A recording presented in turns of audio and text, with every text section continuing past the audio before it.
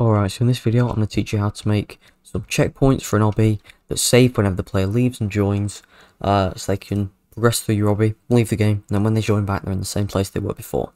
So, how we're going to start doing this is we're going to make a folder in the workspace, and we're going to call it checkpoints. So if you make a folder in the workspace, and then change its name checkpoints, and now in that checkpoints folder, insert a part, and now we can change how that part looks. So if you make it a bit bigger make it thinner and then we can make it anchored and turn off can collide and now I'm just gonna make it neon and make it maybe green.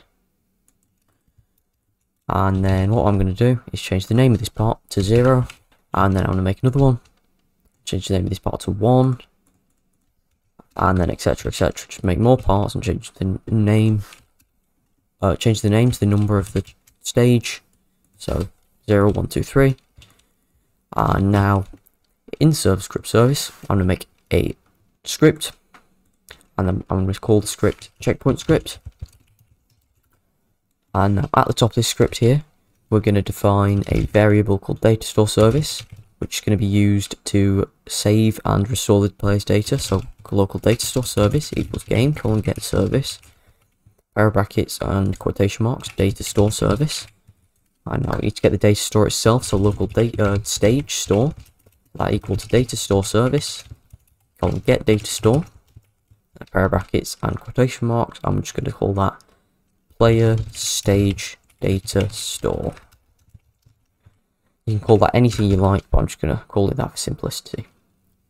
So, now we need an event that fires every time the player joins the game. So if we do game.players.player added on connect function, and then player, and then open up that function. And now we need to create a leader stats folder, which will be the leaderboard in the top right. So the way we can do that is local leader stats equals instance.new folder, and then leader stats name equals leader stats. It needs to be exactly this, it can't be anything else or else Roblox won't understand and then leader stats dot parent equals player. And now we're going to need to make the stage itself, so local stage equals instance.new int value, and then stage.name is stage, and stage.parent equals leader stats. So this is putting it in the leader stats folder, so it'll appear on the leaderboard. So now we need to get the data. So we need to see if it's been saved before, uh, we need to get that data back. So what we're going to do is we're going to make a pcall function which catches errors. So the way we can do that is local success colon error message equals pcall function and then open up the function. And now in here we can do stage.value equals stage store colon get async and then the key which we can set to the player's user ID so player.user ID so each player should have a unique key for the data store. And now we're going to say if success, then print successfully got, and then we want dot dot player dot name stage data. But we want to say then else. So if it wasn't successful, we want to warn this error message. So what this is doing is when the player joins the game, it makes a leader stats folder for the leaderboard in their player itself, and then a stage value in that leader stats folder. And then it tries to get the player's previous data from the stage store. And if it's successful, it says successfully got their data, and it sets it the stage value to that data. But if it wasn't successful, it warns the error message. But now we need to make the player's data save when they leave the game. So now we need an event that fires every time the player leaves the game. The way we can do that is another event. So game dot players dot player removing colon connect function. And then we're taking the player again.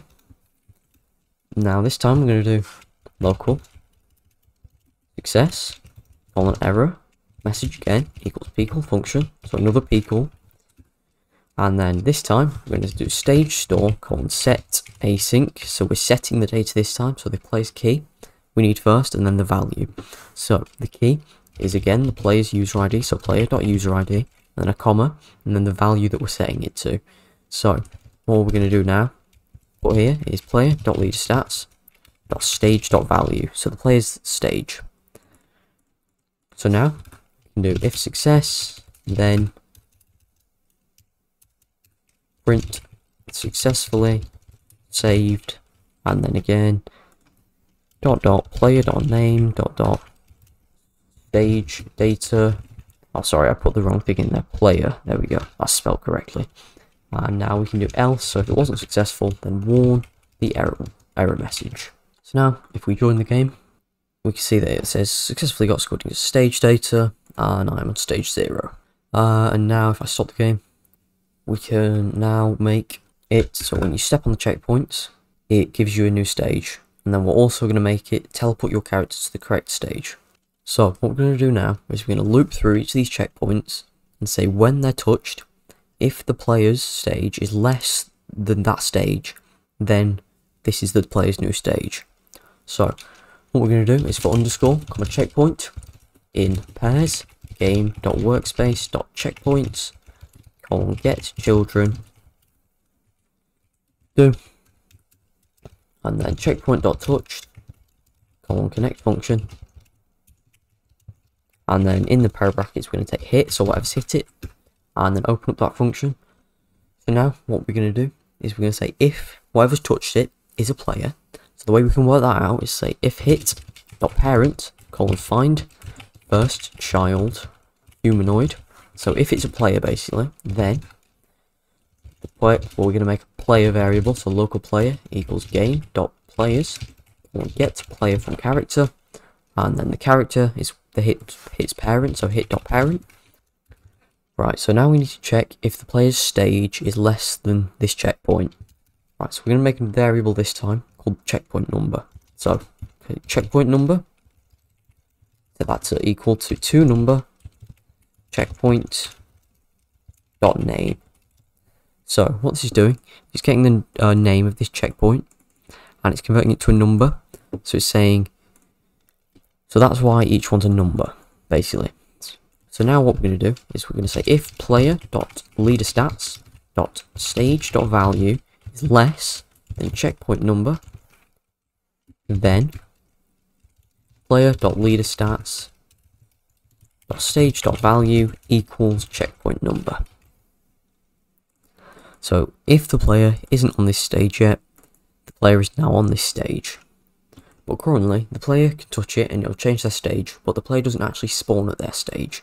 So what we're going to do is we're going to go back to the top of the script and we're going to make a function to teleport the player to their stage. So I'm going to make a function and call it player to stage, and a pair of brackets, and we're going to take the player as an argument. And then in this function, what I'm going to do is say local stage part equals game dot workspace dot checkpoints colon find first child then to string player dot leader stats dot stage dot value. So what this is doing is finding the checkpoint part in this checkpoints folder that is what the current is the player's checkpoint value in their leader stats folder is currently. So now we can make the player move to the stage part. So the way we do that is player character humanoid root part c frame equals stage part c frame plus vector 3 dot new and 0 comma 2.5 comma 0 what this is doing is moving the player's the player's character's humanoid root part to 2.5 studs higher than the checkpoint and then now we've got this function to move the player to their stage we can say uh, here so after it's done this if the player already has a character so if this has been a bit slow and the player's character is already loaded, so if player.character, then player to stage, player, but if there isn't a character then we don't want it to do it yet. And then we want an event that fires every time there's a new character. So how we can do that is player.character added, one connect function, and then open up that function, and then we're just going to say play to stage, player. But again, we want to make sure that it's waiting until the player has a humanoid root part before it's trying to teleport them. So what I forgot to do is in the top of this function, play to stage, we're going to say repeat wait, and then pair of brackets until player dot character dot humanoid root part. Now if we play the game again, this time teleports me to stage 1, and then I can get up to stage 2, and I can reset my character, and I will be back at stage 2, then I can go again to stage 3, reset my character, and I'll be at stage 3, but then I can leave the game, and then I can load back into the game. As you can see, it says successfully saved Squidingz' save data, and then if I play the game again, you'll see that when it loads, I'm still on stage 3, and it still takes me to stage 3. So that was how you can make a stage script uh, with data saving in Roblox Studio. If you found this helpful, please like and subscribe, and I'll see you next time. Goodbye.